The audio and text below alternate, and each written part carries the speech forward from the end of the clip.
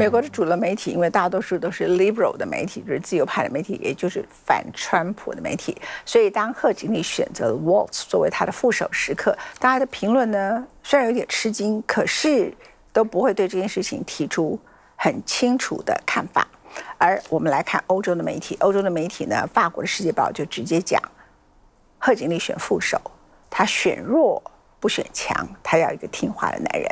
而且他们认为真正重点是在关键摇摆州，他却选了一个不是关键摇摆州的 Minnesota 的州长，这呈现出贺锦丽想要完全掌控权力的情况。但也很可能，第一个，他未必影响选举；如果影响的话，这正会成为他未来败选的原因。被贺锦丽钦点的明尼苏达州长华兹，曾是一名中学教师和美式足球教练，有助于吸引民主党的年轻选票。而且华兹在成为州长之前，曾经是众议院长达十二年的议员。他以善于谈判和与政治对手对话而著称。在极度分化的美国，这些都是非常重要的特质。Le policier ne fera pas basculer l'élection, mais c'est une élection qui va jouer à peu. Oui, non. Et après, je pense qu'effectivement, ce qui est intéressant avec Waltz. 尤其他的外交经济背景如此薄弱，而美国的经济体系危机如此复杂，全球几场战争正走向危险区。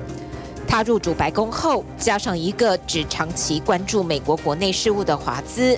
两人对全球暖化琢磨甚少。华兹担任众议员期间，甚至倒戈支持共和党为主提案的 Keystone 油管计划。但这都不是贺锦丽在乎的重点。未来施政能力、对自己经验不足的认知都不是重点。重点是华兹不是全国知名的大咖。欧洲媒体分析，这才是他确评中选的主因。副总统在贺锦丽眼中只能是个配角，光芒和气场都不能超过女主角。Et puis elle embraye en disant Je connais aussi la frontière beaucoup mieux que Trump et je connais beaucoup mieux ces, ces questions-là. Donc elle se place sur une ligne plus centriste, plus à droite du Parti démocrate et finalement elle va laisser la gauche et l'aile progressiste à Tim Walz. Et ça c'est très intéressant comme calcul et potentiellement payant parce que finalement c'est ça, il est blanc, c'est un homme, etc.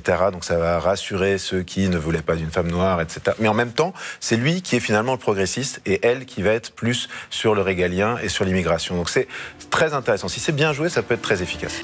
二十天之内，从川普遭受枪击到华兹跃上大选舞台，二零二四的美国大选可谓步步惊心，出人意料。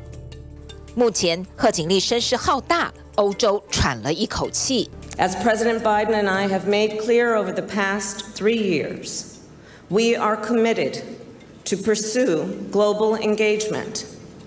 to uphold international rules and norms, to defend democratic values at home and abroad, and to work with our allies and partners in pursuit of shared goals.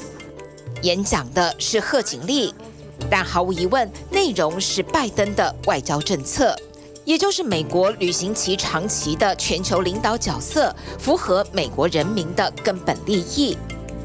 这也许会是一场开票之后也无法停止的选战。几个摇摆州的选民对于外交政策和盟友关系当然无感，但他们的选票却将左右全世界的局势。谢谢收看今天《文青的世界之报》，《文青的世界之报》欧洲版，我们明天见，拜拜。